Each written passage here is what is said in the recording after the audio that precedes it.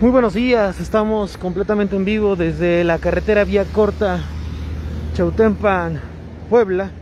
a la altura de Tenancingo, donde hace unos instantes lamentablemente eh, un hombre pierde la vida tras ser atropellado por eh, una patrulla de la policía estatal. Tenemos entendido que esta unidad pertenece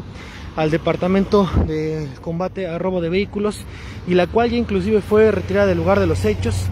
e inclusive también se habla de que el oficial ya se encuentra en calidad de detenido para que bueno eh, se realicen las pesquisas correspondientes y se deslinden las eh,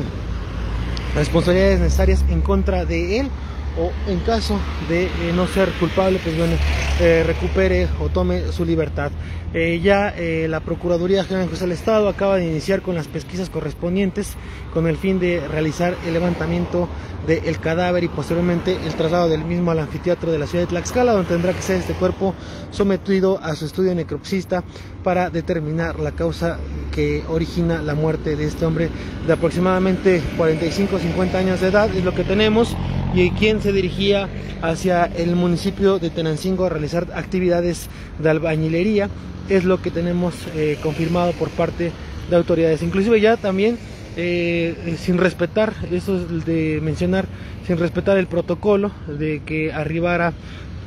la Procuraduría, pues se llevó a cabo el levantamiento o el remolcado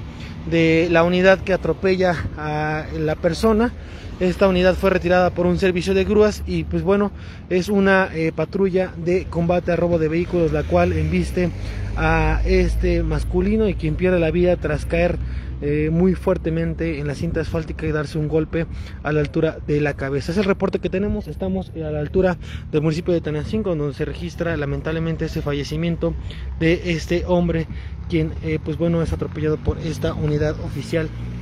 de la Secretaría de Seguridad Ciudadana. Hasta el momento, pues el reporte que tenemos, al parecer ya hay familiares del eh, Oxiso presentes en el lugar para bueno llevar a cabo o proporcionar la información necesaria y posteriormente ya se realicen las pesquisas correspondientes. Hasta aquí el reporte, excelente día Renariana para todos ustedes desde Tenancingo, Tlaxcala, llevándoles a todos ustedes la muerte de un hombre quien es atropellado por una unidad oficial de la Secretaría de Ciudadana. Hasta aquí el reporte, excelente día,